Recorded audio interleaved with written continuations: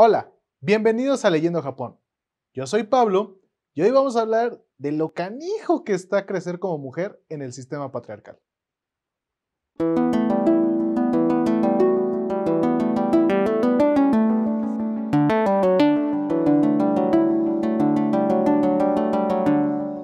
Sí, lo sé, la sección se llama Leyendo Japón, pero ya teníamos bastante tiempo con la espinita de hablar de libros de otros países de Asia. Y qué mejor que empezar con el otro país que es el eh, objeto de estudio de Asia Station, Corea del Sur.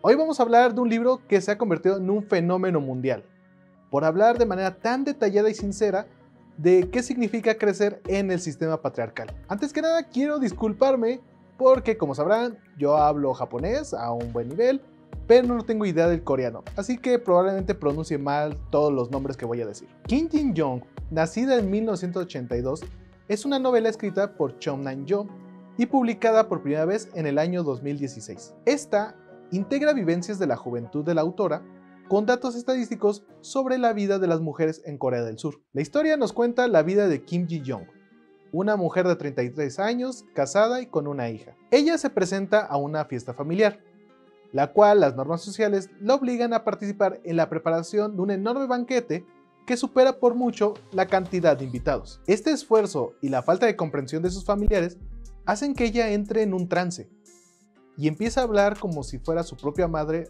o su abuela, lo cual atrae a su marido que no comprende qué está pasando. Es entonces que empezaremos a conocer poco a poco la vida de Kim, quien desde su infancia más temprana nos cuenta cómo a ella y su hermana las trataban bastante distintos sus padres y sus abuelos con comparación a su hermano menor. También conoceremos cómo era la división sexual de las escuelas de los años 80 en Corea del Sur, la falta de apoyo para que una mujer estudie una carrera distinta que no tenga que ver con tareas de cuidado y el extremadamente cerrado campo laboral para las mujeres. El relato es increíblemente vívido y de manera personal puedo decir que para mí fue abrir una ventana a un mundo completamente distinto a mi realidad diaria por lo cual recomendaría que todos los hombres que ven este video se den la oportunidad de leer este libro. Es sumamente interesante cómo se realiza el cuestionamiento de su realidad la protagonista.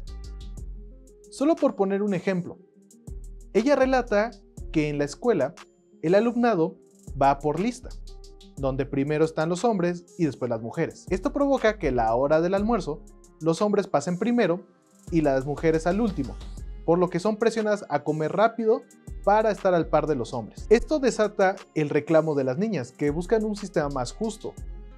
Y en su protesta lo logran, que un mes sea el último número de la lista el primero y el otro mes viceversa. Al lograr esto, la protagonista entiende que ha vencido el sistema, según ella.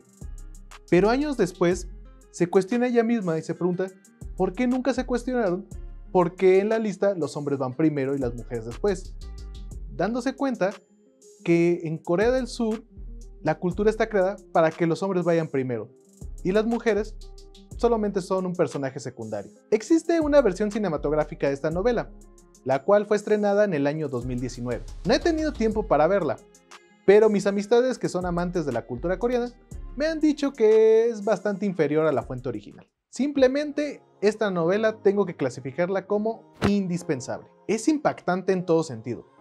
Y sin ánimo de hacer spoiler, su final es tan 1984 que hasta este momento tengo un vacío dentro de mí como cuando vi el final de Devilman Crybaby. Este libro lo puedes encontrar en idioma español bajo el sello de la editorial Alfaguara. Y si vives en la Ciudad de México, lo puedes encontrar en la Biblioteca Vasconcelos. Eso es todo por hoy.